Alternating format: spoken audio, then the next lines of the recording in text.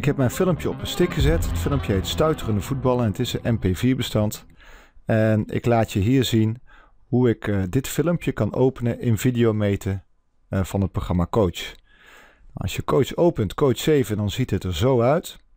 En voordat we ons filmpje gaan importeren, gaan we eerst eventjes um, de omgeving goed maken. En dat doen we, dat is vrij eenvoudig. Dat doen we door naar het mapje CMA te gaan.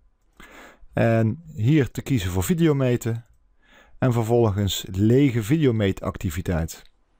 En dan krijg je eigenlijk standaard um, dit te zien. Nu gaan we naar het uh, scherm linksboven, drukken op de rechtermuisknop. Dan krijg je hier openen te zien en gaan we zeggen ik wil een video openen. En nu moet je je stick gaan zoeken. Hier staat mijn stick, video meten. Hier staat mijn filmpje stuiterende voetbal. En tot slot druk je nog een keer op oké. OK. En ik heb mijn filmpje in videometer van Coach 7 gezet.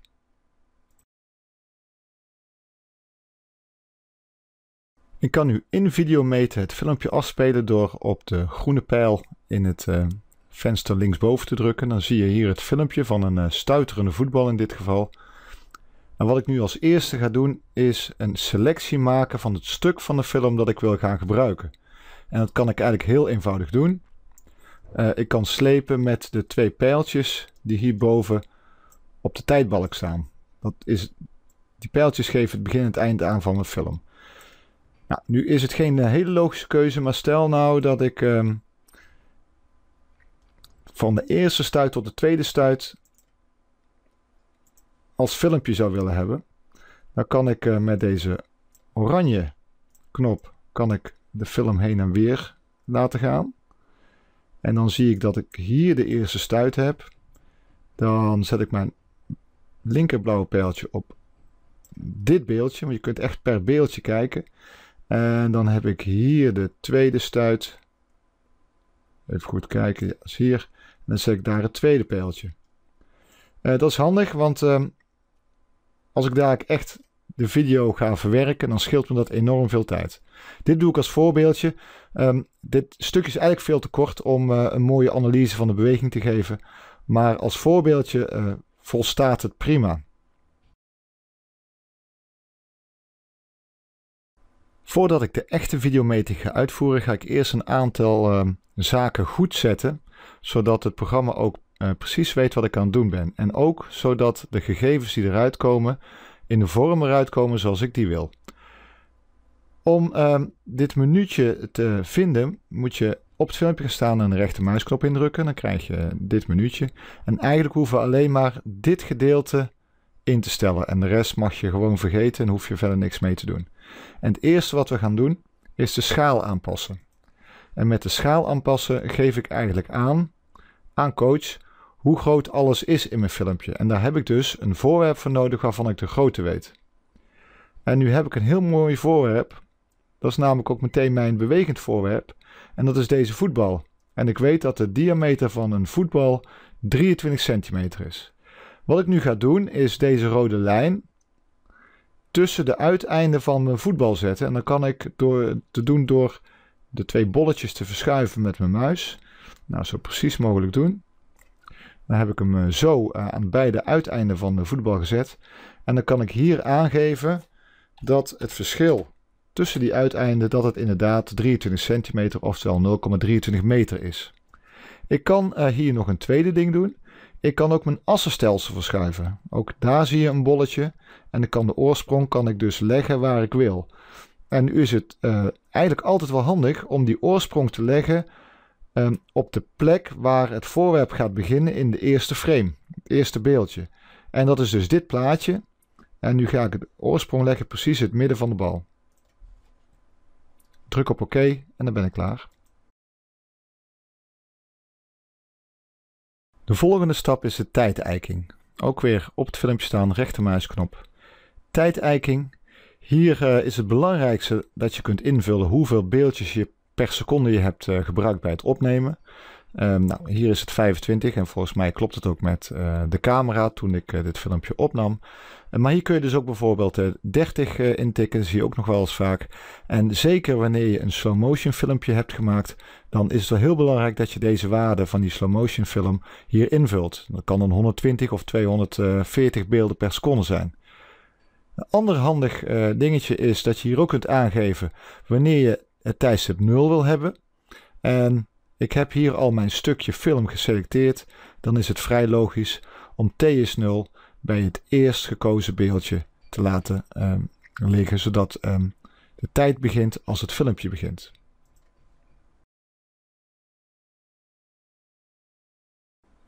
Nu gaan we ons assenstelsel nog eventjes bijwerken. Assenstelsel en dan zie je uh, dit minuutje en hier kun je de richting van de x en de y-as uh, kiezen. Dus Um, als je de x-as naar rechts positief wil laten noemen, uh, lopen, dan kies je voor normaal. Maar je kunt ook uh, kiezen voor het omgekeerde. Als je beweging hebt die van rechts naar links gaat, dan is dit juist handiger. Uh, in de y-richting hetzelfde, van beneden naar boven is de normale stand. Maar kijk je nu iets wat vooral van boven naar beneden beweegt, dan kan het handiger zijn om de omgekeerde te kiezen. Ik laat voor mijn filmpje alles staan zoals het stond.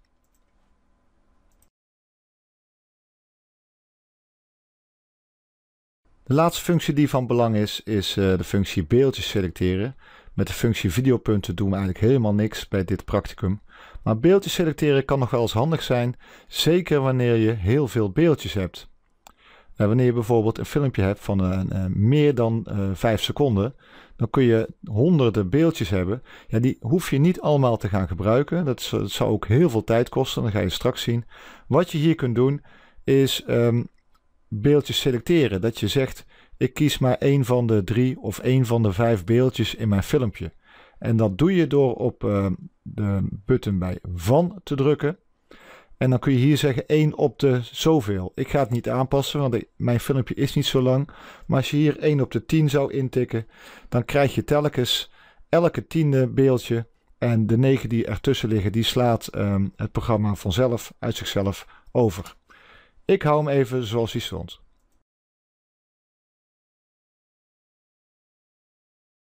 We hebben nu videometer ingesteld. En wat we dadelijk gaan doen is op de groene knop drukken waar eh, start bij staat. En dan begint het eigenlijke videometer en dan krijgen we het eerste beeldje van de film. En we gaan dan in het eerste beeldje het voorwerp aanklikken. En omdat ik hier te maken heb met een rond voorwerp, ga ik gewoon telkens het midden van het voorwerp proberen aan te klikken.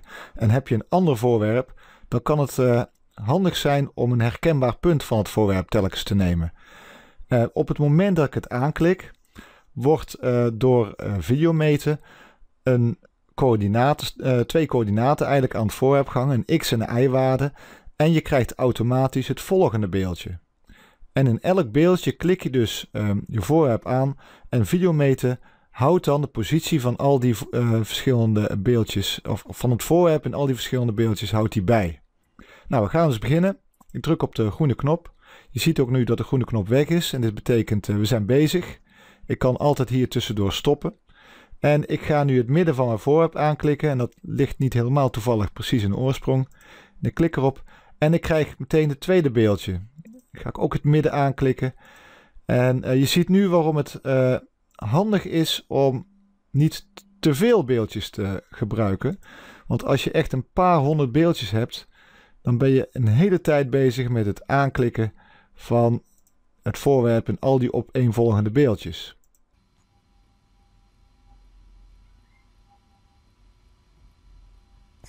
Zo, ik ben klaar. Um, Videometer stopt automatisch als je aan het einde van je film bent. En ik heb mijn uh, daadwerkelijke videometer bij deze uitgevoerd. We hebben nu de data wel, maar hoe kun je die data ook zichtbaar maken voor jezelf? En hoe kun je daar verder uh, mee werken in bijvoorbeeld andere programma's als Excel of Google Spreadsheet? Dat is eigenlijk vrij eenvoudig, uh, want hierboven in de menubalk zie je een icoon waarbij staat datatabel.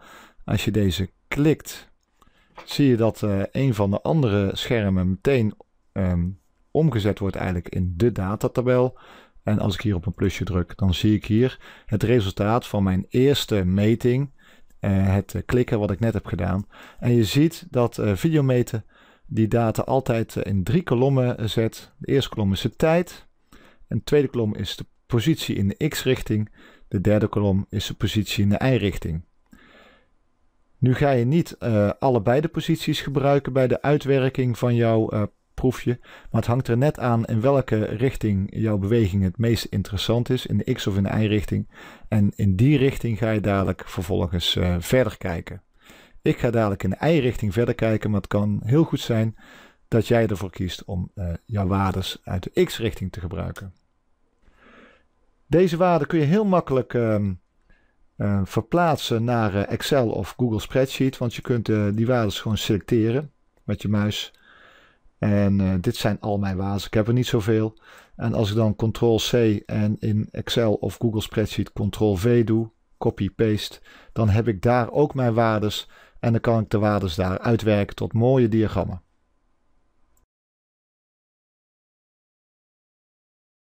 In Videometer kun je ook heel makkelijk een grafiekje maken. En daarvoor moet je weer naar een, eh, een leeg veld. Dit veld is nog leeg. Rechtermuisknop. En dan kun je hier voor verschillende dingen kiezen. En ik kies ervoor om een diagram te plaatsen. En de eerste optie die je kunt kiezen is uh, eigenlijk de meest simpele optie. Is dat je zegt uh, welke van deze twee waarden, de x of de y-waarde, tegen de tijd wordt uitgezet. Nou, ik ga me in mijn filmpje concentreren op de beweging in de y-richting. En ik kies dus voor P1i. En daar is mijn grafiekje al. Met op de x-as de tijd en op de y-as de verplaatsing in de y-richting. Nu kun je heel makkelijk in je grafiekje inzoomen, ook weer met de muis. Je kunt een uh, windowtje kiezen waarin je in wil zoomen, zodat je je meetwaarde beter kunt aflezen. Tweede optie uh, is iets lastiger, maar uh, geeft je wel meer mogelijkheden. Dat is weer op de rechtermuisknop klikken, diagram plaatsen kiezen en dan zeg je een nieuw diagram toevoegen. En dan krijg je uh, deze opmaak. En nu kun je zelf kiezen wat je op de x en op de y-as uh, inzet, uh, stelt. En dat doe je door de gegevens van jouw datatabel te slepen naar de twee assen. Stel nu dat ik een y-x grafiek zou willen maken. Dan moet ik dus zorgen dat de, de x-waarde op de x-as komt en de y-waarde op de y-as. En dan krijg ik hier mijn ix-grafiek. En dan zie je eigenlijk de beweging van de bal um, zoals je hem ook in de film ziet. Nu gaan we verder met het eh, IT-grafiekje, dus ik gooi deze gewoon weer weg. Maar het is wel handig dat je allebei de mogelijkheden hebt gezien.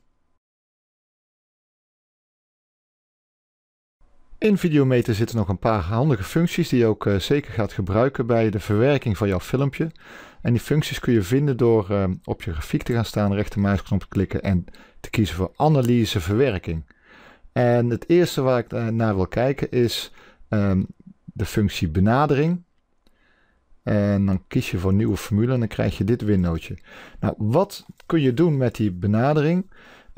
Dan moet je even kijken naar de, de, de, meting die ik heb gedaan. Je ziet wel, die bal die gaat echt wel vloeiend, maar mijn meting is een beetje um, wat minder vloeiend. En dat heeft natuurlijk mee te maken dat je nooit precies elk beeldje precies in het midden kunt klikken. Dan ga je altijd wat uh, foutjes bij maken. Nu ga ik proberen die foutjes weg te poetsen. En dat doe ik door uh, eigenlijk die grafiek glad te laten trekken. En daar heb je verschillende methodes voor. En ik raad je aan om de methode spline te kiezen. En laat hem maar gewoon op automatisch staan. Als je dan plot drukt, dan krijg je jouw nieuwe grafiek. Je ziet dat er hier grafiek overheen loopt. En die grafiek die is een stuk gladder dan mijn uh, oorspronkelijke grafiek. En uh, de mate van gladheid kun je nog zelf aanpassen door uh, te gaan spelen met de waarde van die factor. Maar eigenlijk in veel gevallen doet de automatische waarde doet het op zich prima. Nou, ik ga hem even plotten. Als ik uh, denk dat ik uh, ermee eh, tevreden ben, dan druk ik op oké. OK. Dan gebeuren twee dingen. Ik zie dat mijn cursor, dat daar nu een grafiekje aan vast zit. En ik zie in mijn datasheet dat ik extra meetwaarden heb. En die meetwaarden kan ik dus ehm, laten plotten in een leeg scherm. En dat doe ik dus hier rechtsonder. En als ik hierop klik, dan zie ik hier mijn gladgetrokken grafiek. Um, dit zijn mijn oorspronkelijke meetwaarden en dit is de gladgetrokken grafiek. Uh, en met deze gladgetrokken grafiek kan ik uh, beter de volgende stap doen. Voordat ik die laat zien, kan ik je nog ook, uh, wil ik even op wijzen dat je ook deze waarden kunt kopiëren gewoon naar Excel of Google Spreadsheet. En kunt dus ook deze waarden uitzetten in de andere spreadsheet programma's. Er zit ook nog een tweede handige functie in videometen en dat is de functie afgeleide nemen. Dan neem je de afgeleide van de grafiek en wat blijkt nu het geval te zijn als je een xt-grafiek hebt, een plaats tegen de tijdgrafiek, en je neemt daar de afgeleide van, dan krijg je een vt-grafiek, de snelheid tegen de tijd. Dus je kan nu videometen een plaatje laten maken van de snelheid in de y-richting van die bal in de loop van de tijd. En daarvoor ga ik eerst even ruimte maken. Ik ga eerst even deze grafiek uh, verwijderen. Ik ben de meetwaarden niet kwijt, die staan gewoon nog hier. Dus ik kan die grafiek altijd weer terugtoveren. Maar ik heb deze ruimte nodig, want ik ga van deze grafiek de afgeleide bepalen. En die afgeleide zit verstopt weer bij analyse verwerking en dan onder het knopje afgeleide. Um, dan krijgen we dit te zien. Hier uh, hoef je verder niets aan te veranderen. We gaan de eerste afgeleide nemen. We krijgen de eenheid al cadeau. Het is meter per seconde en dat is natuurlijk ook precies um, de, eh, de, eenheid van snelheid. Ik zou hier het labeltje nog kunnen veranderen. En dan maak ik ervan snelheid in de y-richting. Ik kan deze afgeleide laten plotten. Nou, die afgeleide ziet er zo uit. Misschien een beetje verrassend. Het is een, een vrijwel rechte lijn. En ik kan deze afgeleide ook weer in een nieuwe grafiek zetten. En ook hier zie je weer dat um, op het moment dat ik op uh, oké OK druk, dat mijn datasheet wordt uitgebreid met een nieuwe kolom. En in die nieuwe kolom staat dus de snelheid uitgezet van die bal. En ik klik even op een net leeggemaakte venster. En dan krijg ik hier mijn uh, nieuwe grafiek van de snelheid in de y-richting van mijn, uh, van mijn voetbal. En je ziet ook al dat die redelijk toch is wat je zou uh, verwachten. Want op het moment dat de bal hier omhoog stuit, heeft hij een hoge snelheid. Op het hoogste punt is die snelheid even 0. En als hij naar beneden valt, dan krijgt hij een snelheid in een andere richting. En dat is dus een negatieve snelheid. Ook deze waarde kun je weer kopiëren uit de datasheet en plakken naar Excel of Google Spreadsheet.